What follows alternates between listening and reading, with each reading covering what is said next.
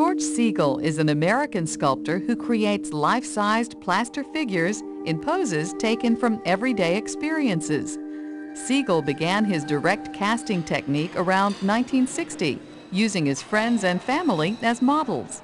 His sculptures realistically represent activities and moments normally taken for granted and draw attention to these daily activities through isolation and lack of normal human association. His goal is to explore how people relate to the things around them. To create his figures, Segal wraps real people who have assumed the poses he desires in strips of cloth and then applies plaster. After the plaster sets, he cuts the form to allow the real person to ease out. Segal then repairs the hollow form and works on it further to achieve the effects he wants. He also introduces actual objects into his works, including sound and lighting effects.